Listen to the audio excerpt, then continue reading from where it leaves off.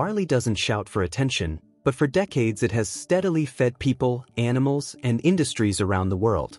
To understand where barley production stands today, we have to go back to the early 1960s.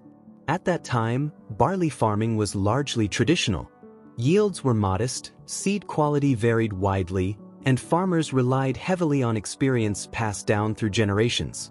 Production focused on survival and volume, with little consistency from one season to the next. In 1962, things began to change. Plant breeding programs expanded rapidly, introducing improved varieties that were more resilient, higher yielding, and better suited for malting and feed.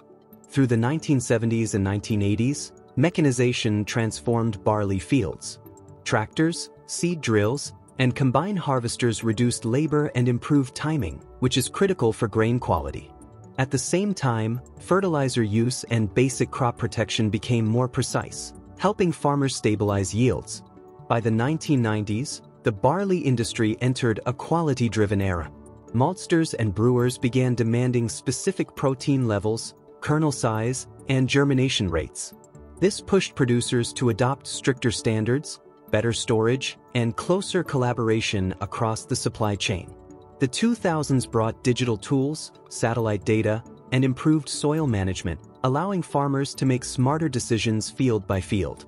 Today, barley production is defined by sustainability and consistency.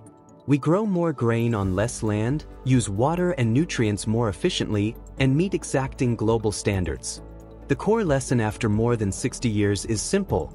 Progress in barley has always come from aligning science, farming skill, and market needs.